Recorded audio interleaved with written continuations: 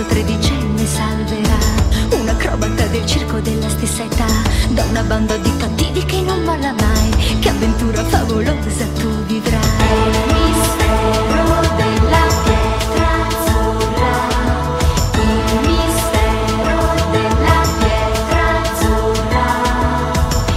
pietra eccezionale